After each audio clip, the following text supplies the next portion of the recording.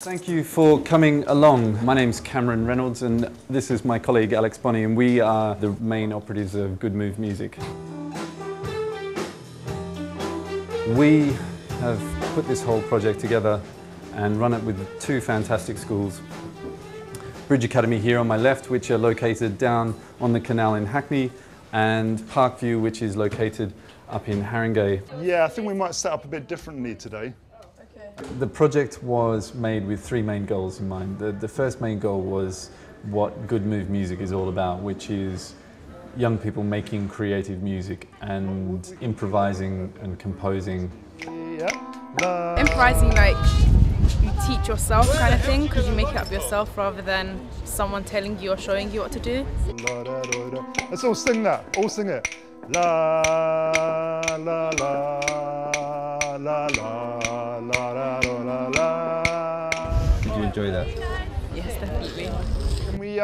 can we run the A section, the very first section, because I wanted them to come up with The whole ethos behind the company that we set up was to try and do this kind of work. Um, we feel that it's something that is valuable for lots of reasons for young people.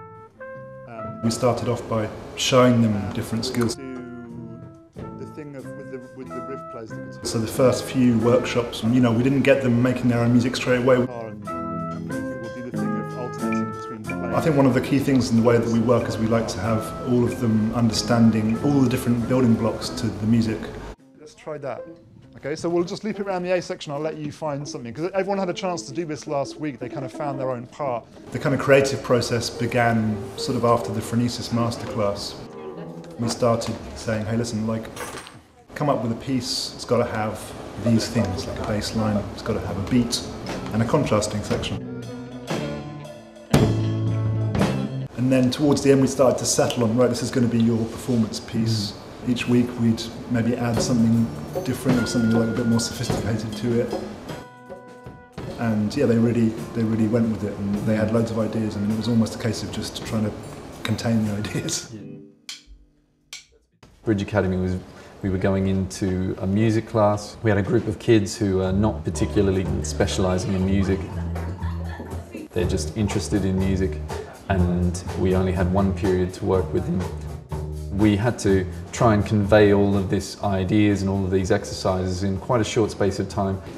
we got picked from the best people basically yeah, the good people the that good play ones in drums music. They got picked and then they just brought up and then we became a band a little bit and then we started practicing and improvising. Uh, I'm playing the xylophone, the wood one.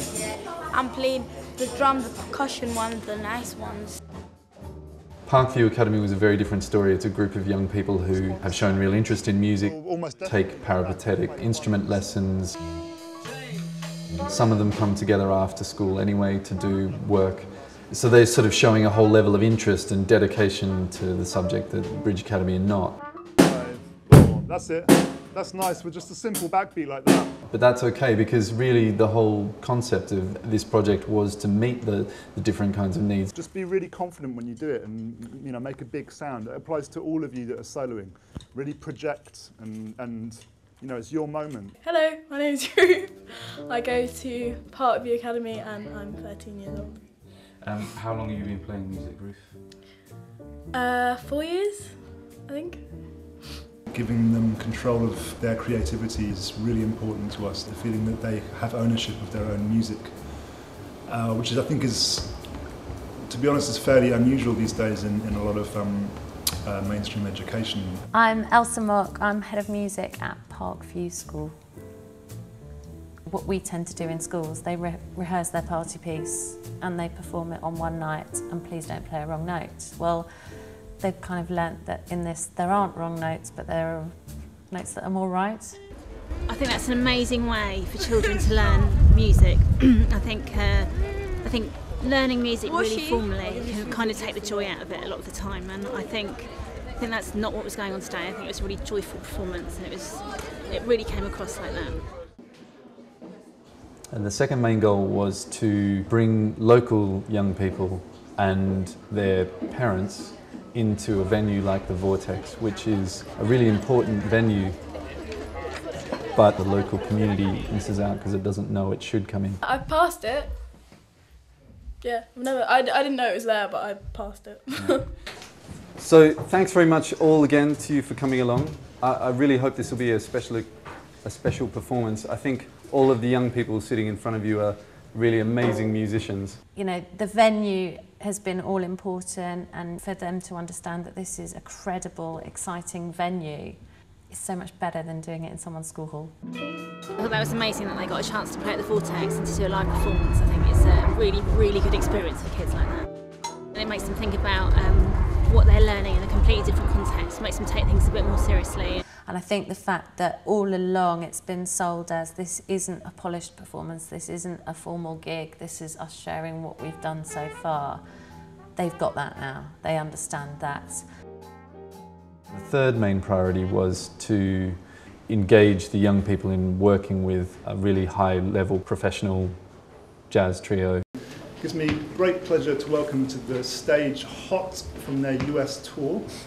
Um, the fantastic piano trio. We've got uh, Jasper Hoiby, Anton Eager and Ivo Neame. This is Phronesis.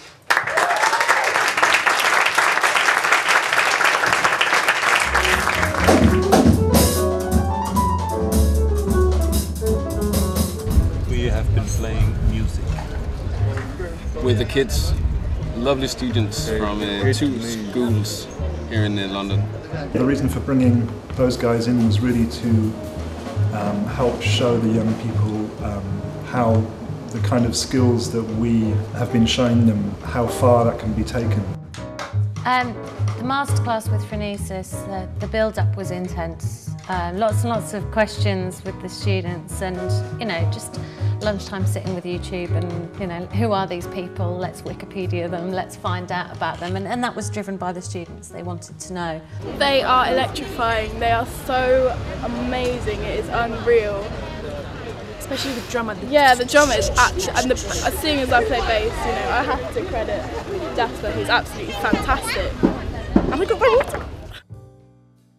Watching them perform, the students were blown away by amazing instrumental skills, by the music that they didn't understand that actually they felt they could understand a little bit when it was broken down.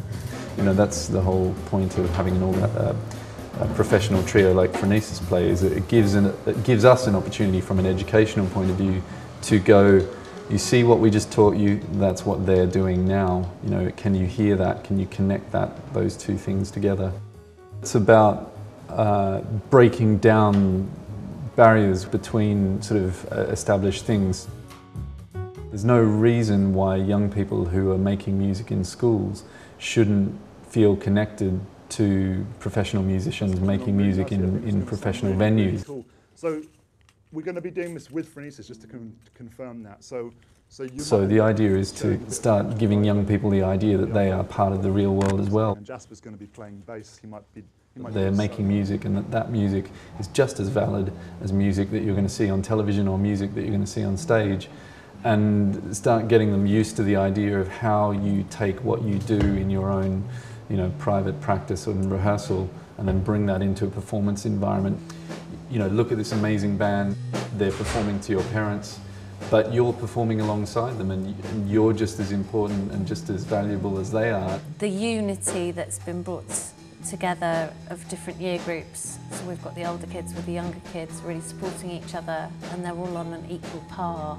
It's not um, a thing about age, it's about we're all musicians together. What we're saying is we're going to give you a skill, we're going to give you a concept, and then you're going to explore that for your own music making. Our whole job is to respond to that with a lot of support and guidance and say that's brilliant, now this is how you could potentially make that better. I think that the more musically able of the students, I haven't noticed any dramatic change. Um, the, the weaker of the students are definitely gaining in confidence and with that are bringing that into the classroom. At the end of the day, the most important thing is that a bunch of young people got to be creative in their music making. It doesn't matter that one group is more specialist or more able than the other. The important thing is that they were learning the same thing and we really did teach the same things. Um, but for Bridge Academy, it's such an important thing that they begin to engage with the idea that they can make music and they can make their own music and that that's really valuable because hopefully that will mean that they will then become like the Parkview uh, young people and they will go and get lessons in an instrument and they will take part in ensembles after school. Now I'm thinking, right, who can we target next? Um, who else can have an opportunity? The opportunity to express what you are feeling and what you're doing through music is, is, is such an important thing to any, any individual. Um, and you know, virtuosity and being, uh, being very technically skilled and practicing hard and executing other people's music very well is, is all well and good and it's part of being a musician. But having that opportunity to express yourself creatively is, is, what, is what we feel like we're bringing to the, to the, uh, to the music education world.